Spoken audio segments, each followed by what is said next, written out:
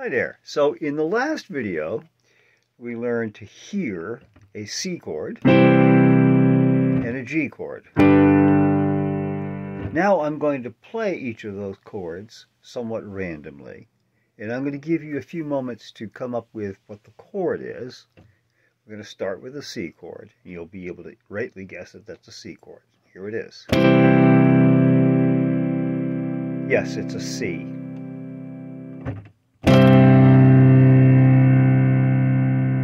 That's also a C.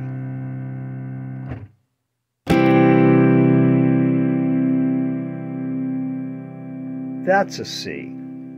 Did you get it? Okay, let's try one more.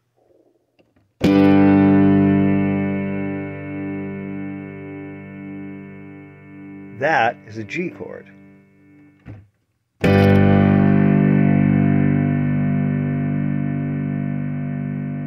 That's a G chord.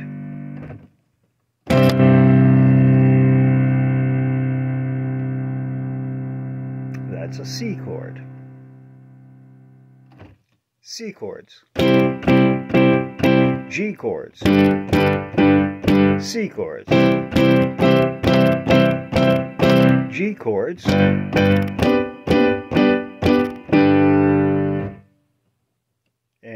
and a nice big C chord to finish.